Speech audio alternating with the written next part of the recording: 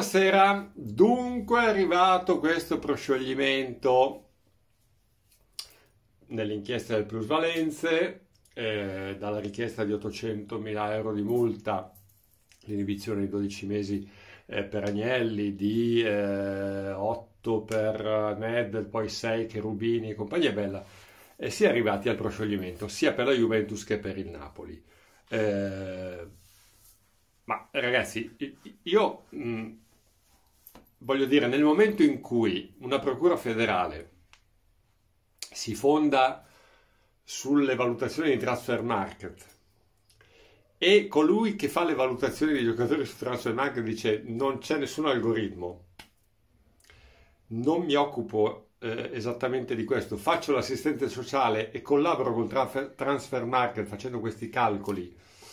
Per puro diletto, e eh, allora eh, voi capite che no, si smonta tutto molto facilmente. Al di là del fatto che appunto non esiste un listino prezzi per i giocatori, ma i prezzi li fa il mercato, i prezzi li fanno le contrattazioni, eccetera. Ma nel momento in cui un organo ufficiale si appella a una roba fittizia, puramente passionale e non professionale, di puro divertimento e di hobby, è come se uno fondasse le proprie accuse sulle, sui tabellini della Gazzetta dello Sport. No? Però è successo. No, non, non, lo sto inventando io, eh? Non lo sto inventando io. Anni fa la Procura federale andava a vedere i tabellini della, della, Gazzetta dello Sport per vedere gli ammoniti, se poi il giorno, la settimana successiva erano diffidati e andavano a giocare contro questa squadra o l'altra, però lì andava bene, lì andava bene, lì andavano bene.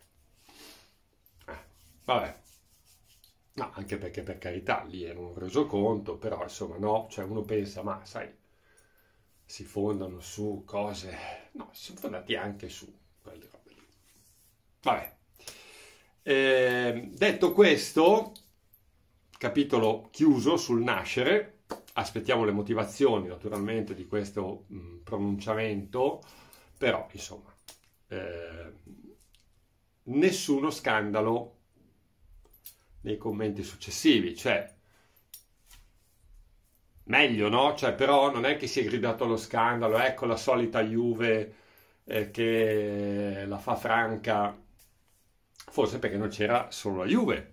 E allora diciamo che il mal comune eh, o, il, o, il, o il pericolo scampato comune ha fatto sì che tutto scemasse e quindi anche a livello di social, di, di terreni sui quali normalmente si edificano certe battaglie, praticamente quasi nulla, quasi nulla.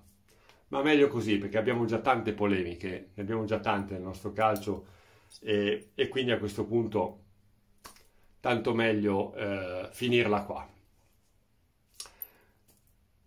Uno di voi mi ha fatto notare ma l'ho percepito anche adesso che me lo fa notare. Al momento anch'io l'ho percepita questa cosa qua. Eh, nella conferenza stampa di Allegri, quando gli si chiede di commentare il rinnovo del contratto di Quadrado, o la liquida così, proprio con una battuta, non battuta nel senso di far ridere, una dichiarazione secca, praticamente dice, beh, è scattato il rinnovo automatico.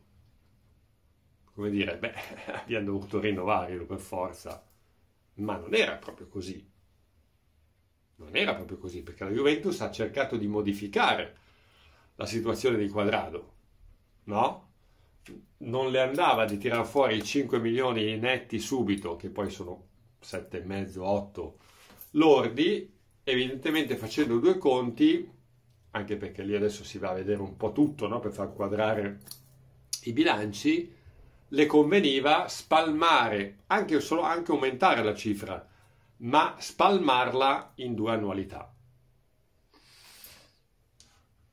E Quadrado evidentemente non ha accettato, perché evidentemente ha altre mire. Mi si chiede, ma perché spalmare in due anni era più vantaggioso per Quadrado? Beh, eh, voglio dire, apparentemente è molto semplice, ti garantisci altri due anni di contratto.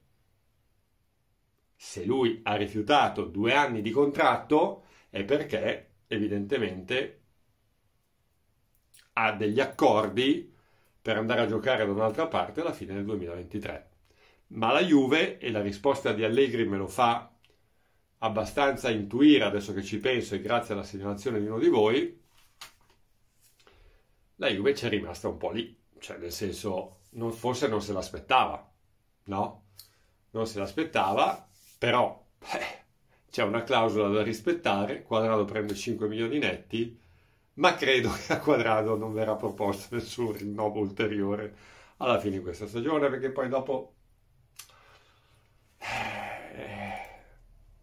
così, funziona così, funziona così, non è questione di rancore, di, di essere permalosi, di, di, di, volersi vendicare, no, è così, funziona così.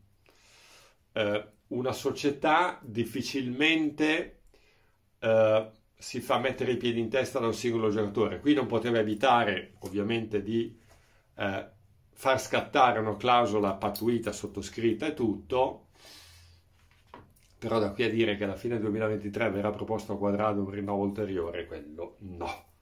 Io lo escluderei categoricamente. Ah, tra l'altro avete visto che comunque sono qui ancora a parlare con voi. Anche se effettivamente stamattina ero un po' rabbuiato per questa roba qua. Un po' rabbuiato per questa roba qua.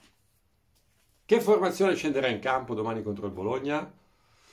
No, perché se leggo da qualche parte che Allegri vorrebbe preservare un centrocampista, uno tra Zaccaria e Rabiot, che sono gli unici due di ruolo disponibili, devo pensare che una soluzione potrebbe essere Danilo a centrocampo, con De a destra e Alessandro a sinistra.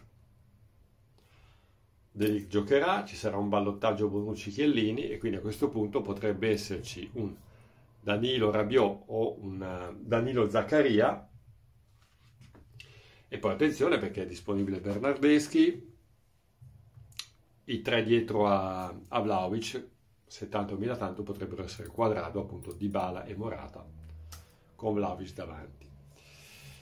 Io parlo mentre l'Inter ha già battuto lo Spezia, vi sto parlando mentre il Milan sta vincendo 1-0 contro il Genoa, ma non perché voglia per forza buttare gli occhi sulla classifica, però devo anche dire che se il Milan dovesse portare a termine questo compito, l'Inter l'ha già portato a termine, la Juve a questo punto non ha più nulla da perdere. Cioè, nel senso, avrebbe provato comunque a vincere, proverebbe comunque a vincere contro il, il, il Bologna, però a questo punto non hai più nulla da perdere. Mm, diciamo che, non dico che può andare in campo rilassata perché quello mai, mai, e contro il Bologna mai, il Bologna con Mihailovic a casa vi ho già spiegato no? le motivazioni, con Mihailovic in ospedale, ecco. Eh, però non c'è nulla da perdere a questo punto. Nulla da perdere. E io chiudo qua. Chiudo qua e vi dico di iscrivervi al canale. Vi do appuntamento domani nell'intervallo della partita e poi per il commento finale su... Uh, intervallo partita su Facebook, lo sapete, la diretta, e poi per il commento finale qui sul mio canale di YouTube. Iscrivetevi e mi raccomando, sempre più numerosi, ma del resto, che ve lo dico fare, siete già in tanti, però possiamo essere ancora di più. Ciao ragazzi, a domani, ciao ciao ciao ciao.